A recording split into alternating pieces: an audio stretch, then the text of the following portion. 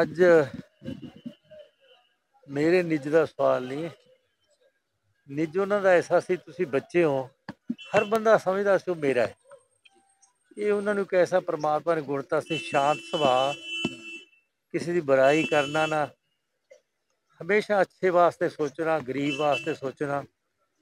ਇਸ ਕਰਕੇ ਜੇ ਕਹੀਏ ਗਰੀਬਾਂ ਦਾ ਮਸੀਹਾ, ਇਨਸਾਨੀਅਤ ਦਾ ਕਦਰਦਾਨ ਔਰ ਸਾਰੇ ਦੇਸ਼ ਦੇ ਹਰ ਜਿਹੜੀ ਜਾਇਜ਼ ਪ੍ਰੋਬਲਮ ਵਾਸਤੇ ਕੁਰਬਾਨੀ ਕਰਨ ਵਾਲਾ, ਪੰਜਾਬ ਤੇ ਪੰਜਾਬੀਆਂ ਦੇ ਹੱਕਾਂ ਵਾਸਤੇ ਸਾਰੀ ਜ਼ਿੰਦਗੀ ਲੜਨ ਵਾਲਾ, ਆਜ਼ਾਦੀ ਤੋਂ ਬਾਅਦ 18 ਸਾਲ ਜੇਲ੍ਹ ਕਿਸੇ ਲੀਡਰ ਦੀ ਨਹੀਂ ਹੋਣੀ 18 ਸਾਲ ਇਹਨੂੰ ਨਹੀਂ ਸੀ।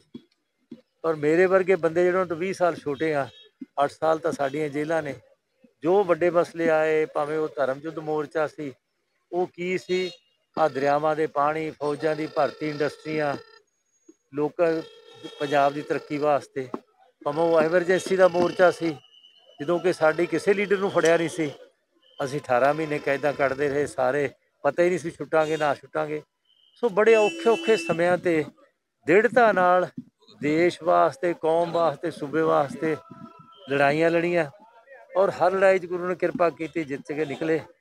ਸੋ ਮੈਂ ਸਮਝਦਾ ਕਿ ਉਹ ਭਾਈ ਤੁਹਾਡਾ ਤੇ ਮੇਰਾ ਨਹੀਂ, ਉਹ ਸਾਰੇ ਦੇਸ਼ ਦਾ ਸੀ। ਸਮੁੱਚੀ ਇਨਸਾਨੀਅਤ ਦਾ ਸੀ। ਪਰਮਾਤਮਾ ਨੇ ਉਹਨਾਂ ਤੇ ਏਡੀ ਕਿਰਪਾ ਕੀਤੀ ਸੀ ਕਿ ਉਹ ਜ਼ਿੰਦਗੀ 'ਚ ਮੈਂ ਉਹਨਾਂ ਨੂੰ 70 ਤੋਂ ਤਕਰੀਬਨ 72 'ਚ ਮੈਂ ਐਮਐਲਏ ਬਣ ਗਿਆ ਸੀ।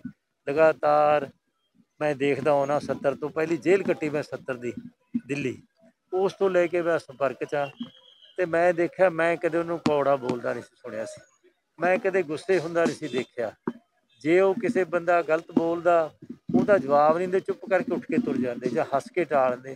ਸੋ ਭਾਈ ਇਹ ਜੇ ਇਨਸਾਨ ਦੁਨੀਆ ਤੇ ਕਦੇ ਪੈਦਾ ਹੁੰਦੇ ਨੇ, ਸੋ ਗੁਰੂ ਕਿਰਪਾ ਕਰੇ ਸਾਰੇ ਜੋ ਹੈ ਉਹਨਾਂ ਨੂੰ ਸ਼ਾਂਤੀ ਰੱਬ ਆਪਦੇ ਚਰਨਾਂ 'ਚ ਦੇਵੇ ਤੇ ਅੱਜ ਸਾਰੇ ਦੇਸ਼ ਦੇ ਦੁਨੀਆ, ਮੇਰੇ ਖਿਆਲ ਪਹਿਲਾ ਇਨਸਾਨ ਹੈ ਆਜ਼ਾਦੀ ਤੋਂ ਬਾਅਦ ਜਿਹਨੂੰ ਹਿੰਦੁਸਤਾਨ ਦੀ ਸਰਕਾਰ ਨੇ ਦੋ ਦਿਨ ਸੋਗ ਬਣਾਇਆ ਹੈ। ਪ੍ਰਧਾਨ ਮੰਤਰੀ ਚੱਲ ਕੇ ਆਇਆ ਹੈ ਤੁਰੰਤ ਔਰ ਇਸ ਤਰ੍ਹਾਂ ਦਾ ਜਿਹੜਾ ਸਨਮਾਨ ਹੈ, ਫਰਜ਼ ਵੀ ਬਣਦਾ ਦੇਣ ਦਾ। ਔਰ ਜਨਤਾ ਨੇ ਵੀ ਜੋ ਸਨਮਾਨ ਤਾਂ ਮੈਂ ਧੰਨਵਾਦੀ ਆ ਜੋ ਉਹਨਾਂ ਨੇ ਜ਼ਿੰਦਗੀ ਲਾਈ ਲੋਕਾਂ ਵਾਸਤੇ ਲੜੀ, ਬੇਤਹਾਸ਼ਾ ਲੋਕ ਪਿਆਰ ਕਰਦੇ ਨੇ, ਰੋਂਦੇ ਨੇ, ਗਰੀਬ ਰੋਂਦੇ ਨੇ, ਔਰ ਜਿਹੜੇ ਸਾਥੀ ਅਸੀਂ ਉਹ ਤਾਂ ਚਲੋ ਸਾਨੂੰ ਤਾਂ ਹੈ ਹੀ ਕਿ ਇੰਨੇ ਇੰਨੇ ਸਾਲ 50 50 ਸਾਲ ਸਾਥ ਰਹਿਣਾ, ਤੇ ਫਿਰ ਸਾਥ ਛੱਡ ਜਾਣਾ, ਤੇ ਫਿਰ ਕੋਈ ਨਿੱਕੀਆਂ ਗੱਲਾਂ ਨਹੀਂ ਹੁੰਦੀਆਂ।